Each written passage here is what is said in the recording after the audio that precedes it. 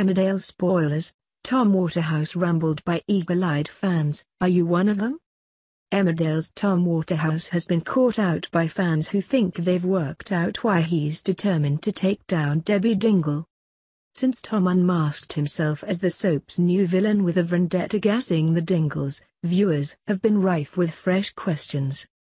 Emmerdale's answer to Christian Grey has been shrouded with mystery since making his debut earlier this year, but his tangled web of lies is finally beginning to unravel.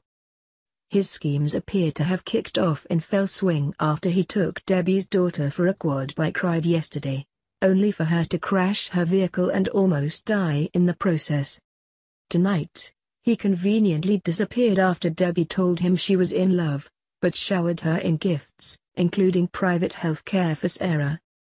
Iain Macleod promised Tom came with his secrets, and now detectives among the soap's loyal fanbase are certain the elusive millionaire is related to Dinah's ghost from the soap's past.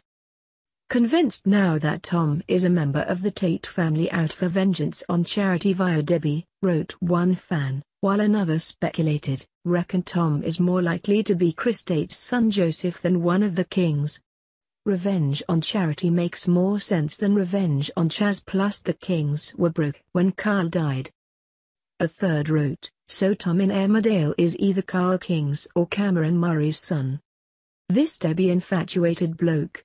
He's got to have a grudge against the Dingles or Debbie. Something to do with the robbery that she came back for? Guessed one more. One skeptic explained, Carl King was murdered by Cameron Murray.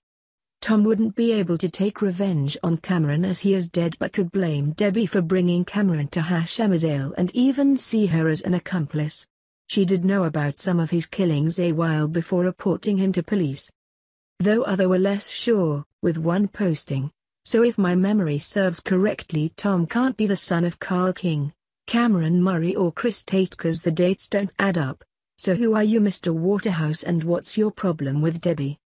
Emmerdale continues Monday at 7 p.m. on ITV. TV.